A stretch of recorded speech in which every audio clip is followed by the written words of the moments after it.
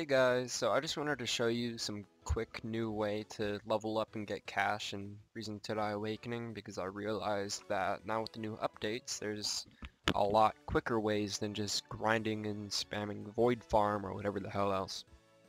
So you guys probably already know about this, but Reason to Die now has contracts. So if you go to the store and you just like move your mouse over here it'll pop up and you click it, you can buy these contracts for a set amount of cash and then once you do, you get a certain amount of experience for completing it.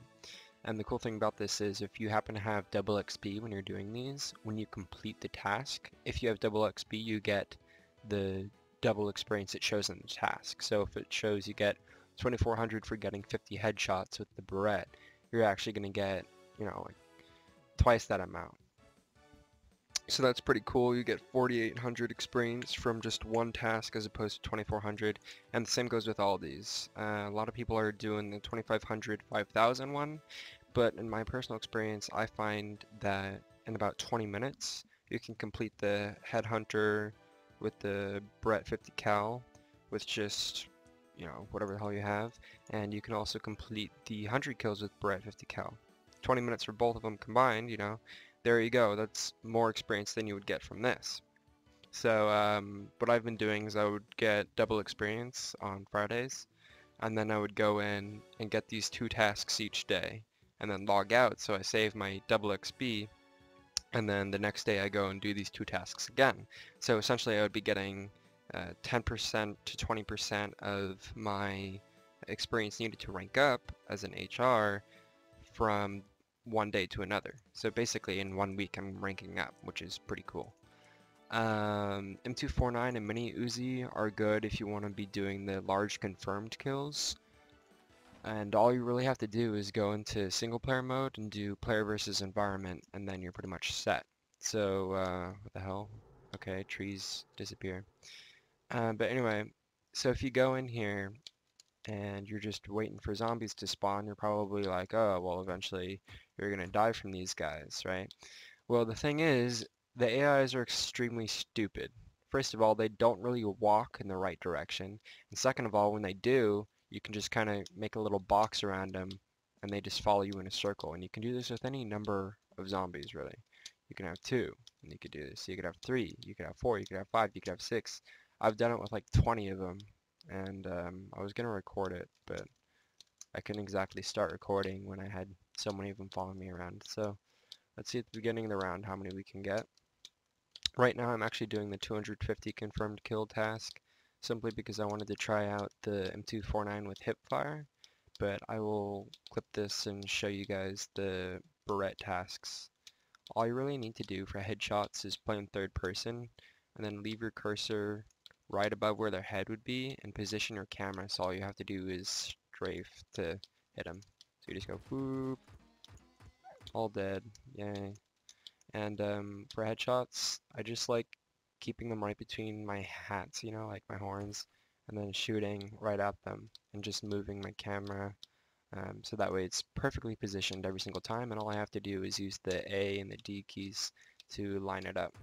So just go boom, headshot, boom, boom, with the hipfire, my range is uh, drastically decreased here to compensate for stability. So uh, you're probably like, why is the M249 not hitting them that far away? Well, it's because the range is so bad. If I try to shoot this guy that far, oh, that worked. Apparently the range is like 80 on it now. So, yeah, I don't think I can hit him that far. No, I can't.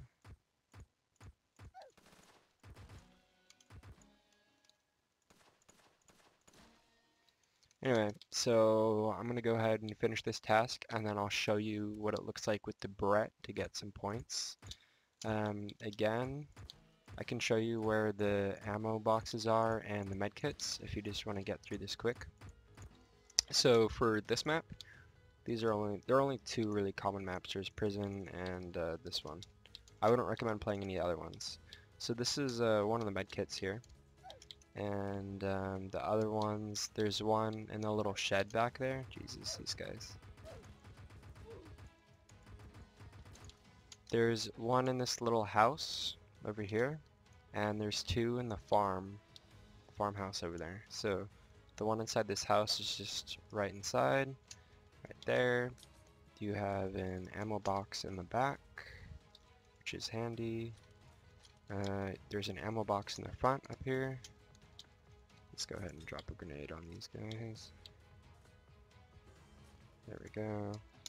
And um, as you can see there's one over here where I just was next to the little tent there. Right there. Uh, there's one on the other side of the bridge.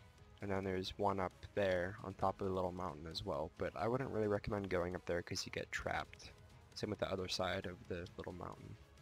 Uh, here's an ammo box inside the farm, which is nice. And you can make them kind of fall down the ladder if you just time it right.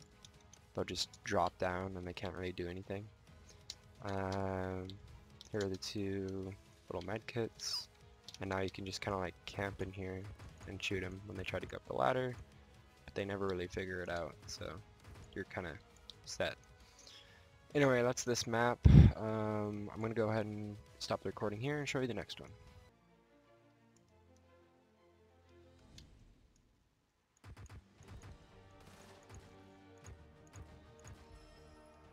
Well, that didn't take very long at all. So anyway, as you can see, I just got 1200 experience from that one thing, and if you do that when you have double experience, you're going to get 2400, so that's a pretty dang good deal. Um, I'm going to go ahead and reset and go over to prison. So let's check that out. Alright, so Fox River Prison is pretty much the same idea, but the thing with this is the map is so small that I would definitely recommend bringing the Hipfire if you're going for a large amount of confirmed kills with the M249. Uh, it's great for farming cash, you get about 100 cash in a minute or two. Uh, Hipfire drastically increases the accuracy, so the bolts will go right where you click. So since the map is tiny, range doesn't matter at all and it makes sense to use that. I would go with mini Uzis or something like the Rambo that has low energy so that way you can just make zombies not damage you, that way you have a little bit of an invincibility frame. With mini Uzis it's nice because then if zombies are rushing at you, you can just bring it out and spray them down, finish them off after you've hit them a couple times with the M249 or whatever, and if you're going for Barrett kills, well obviously uh, you just bring the Barrett and something to keep zombies away like the Rambo, low energy, you know you could go with baseball bat, toy sword, you know whatever. So anyway, um, let's go ahead and buy the Barrett contract and go right in. So in the Fox River Prison, there's a couple easy tips to get you going. First of all, the first med kit is right inside, close to the spawn. You get uh, good two items. If you get two of the same items, you just come back later after you've used one. Just remember where they are. Uh, the zombies tend to go for this fence when you first spawn in, so they won't really target you, and you can just do some easy parkour stuff to get around them. Uh, there's an ammo box here that's nice and helpful. There's another one up top right there. Another med kit inside here. And um, if you ever run out of ammo, you can go ahead and get ammo through the side of the wall here. If You go up to it and press R. And there's another spot where you can do that over on this side. Same deal. That's all the ammo boxes in this map and the medkit locations.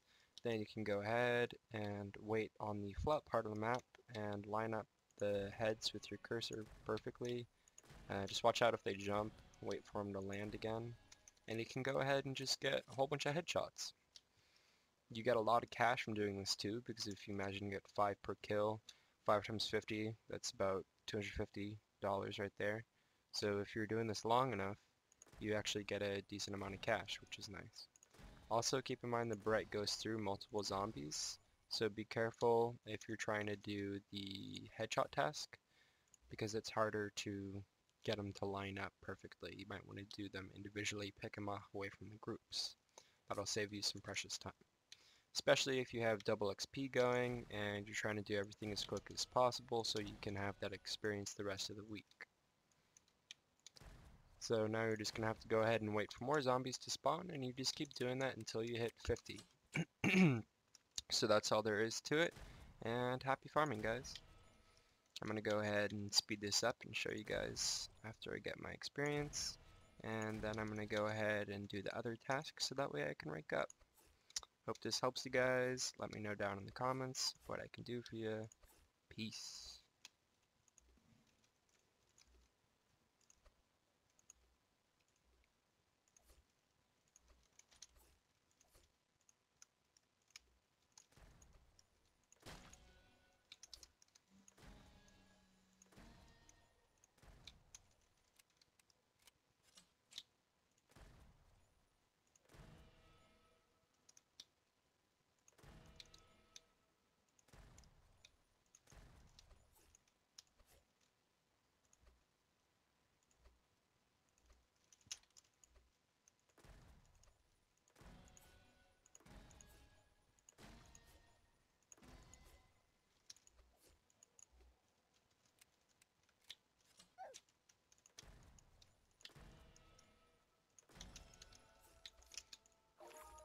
So that didn't take too long at all, and there's my free experience points.